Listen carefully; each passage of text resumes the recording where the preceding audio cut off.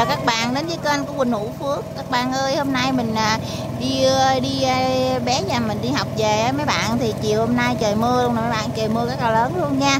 Thì lúc này là khoảng à, 3 giờ 45 phút đó, là bé nhà mình học tan cái buổi chiều. Thì ông, thì ông xã mình rước mình với con mình về thì nè mình đang quay cho mấy bạn xem á. Thì trời mưa rất là lớn luôn. Mình cũng làm cái muôi để mình cho bé nó chung vô chổng nó ngồi cho nó đừng có ướt nhưng mà mình thấy mưa quá luôn cho nên mình sẽ quay lại cái quá hóa trình trời mưa này cho mấy bạn và ờ, cùng xem nha. Thì lúc này à, chiều nào cũng vậy hết trơn mấy bạn ơi. Có khi là ông mưa nguyên ngày có khi thì ông mưa cái uh, buổi chiều. Thì ngày hôm nay thì ông mưa ông mưa nguyên ngày luôn đó mấy bạn. Ông mưa nguyên ngày luôn thì hôm nay mình về nhà về tới nhà chắc có khoảng là à, 4 giờ rưỡi á. 4 giờ rưỡi 4 giờ 40 á thì à, em mình nghĩ chắc hôm nay mình cũng không có quay được cái món ăn để chia sẻ với mấy bạn và cô chú rồi. Thì mình à, sẽ quay cái đoạn đường từ à, trường về tới nhà cho mấy bạn và cô chú xem nha. Mà mưa quá không biết mình có à, quay được tới à, nhà hay không đó mấy bạn. Bây giờ trời mưa đang tạt vô nè mấy bạn ơi quá mưa luôn. Có thể là mình sẽ à, à, tắt cái điện thoại tại đây để mình à, bỏ nó vô cái bọc chứ không thôi nó mưa rồi nó ướt đó mấy bạn quá mưa luôn. Mà bây giờ mình gán, mình quay được ờ, tới khúc nào thì mình hãy khúc đó nha.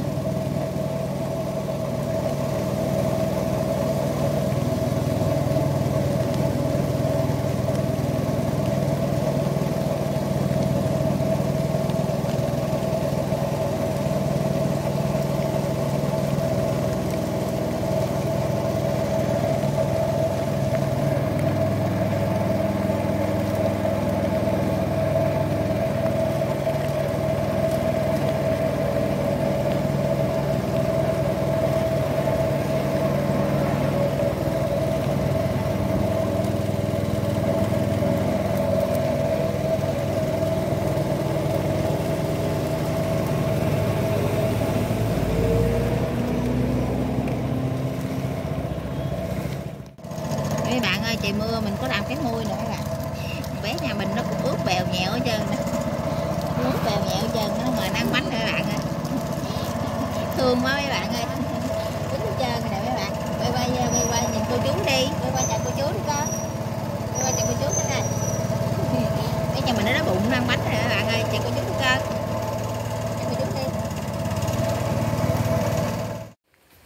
thì mấy bạn ơi, bây giờ mình à, về tới nhà nãy giờ là mưa quá luôn mấy bạn, mưa vẫn còn mưa luôn. Thì giờ là gần 6 giờ rồi mình cũng à, không có nấu cái món gì hết. Thì đây mình nấu một món canh à, chua cho bé nhà mình thì trong tủ thì chỉ còn được có nhiêu đây à thì mình chỉ nấu được mấy con tép và một cây xúc xích nha mấy bạn. Dạ đây mình được mấy trái cà chua bi à. Vậy mình nấu đại một chén canh cho thằng bé nhà mình nó ăn nha và đây, cái à, nước à, nồi nước mình đã bắt lên sôi rồi. Vậy bây giờ mình, trước tiên trong này hồi nãy mình cũng để vô một tí muối rồi. Bây giờ mình sẽ để cái tép và phần xúc xích vào nha. Tại vì cái tép nó cũng mau chín, thì mình sẽ để chung một lượt được nha mấy bạn. Giờ mình để vô như thế này thì mình chờ cho cái tép của mình nó chưa chín tới nha. Thì mình à, để cái cà chua bi vào rồi mình nêm nếm gia vị rồi mình để cái rau mùi vô là ăn được đó nha mấy bạn.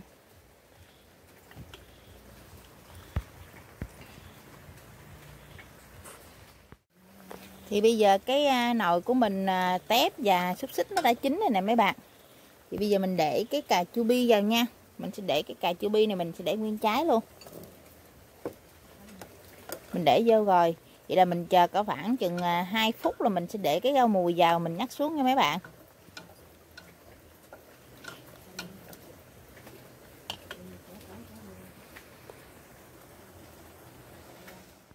Thì mấy bạn ơi, bây giờ cái cà chua mình để vô như thế này nó đã chín đây nè mấy bạn. Vậy mình để cái rau mùi vô là mình à, tắt bếp và múc ra ăn cơm thôi mấy bạn ơi. Thì mình sẽ để cái à, rau mùi nè, mình để cái quế nha. Để dài đọt quế.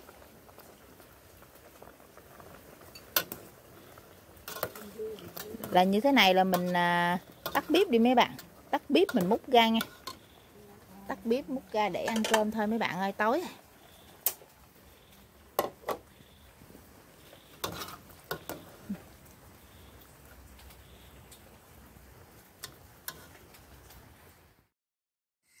thì các bạn ơi, mình đã nấu xong cái món canh cho bé nhà mình rồi. Cái món này làm cũng khá là đơn giản mà rất là mau luôn nha mấy bạn. Vậy à, mình cũng à, mong à, gần tất cả các bạn, các cô chú xem cái video của mình vui vẻ. Và chúc tất cả các bạn, các cô chú một ngày vui vẻ, thành công và hạnh phúc bên người thân, bên gia đình nhỏ của mình. Sau những giờ làm việc mệt mỏi trong ngày nha mấy bạn và cô chú và cũng đồng thời mình cũng mong rằng tất cả các bạn các cô chú xem nhớ like chia sẻ và đăng ký ủng hộ này cho mình nha. Thì đó cũng là cái động lực để cho mình làm thêm những cái món ăn mới, những cái video mới. Bye bye, chào tạm biệt tất cả các bạn, các cô chú nha.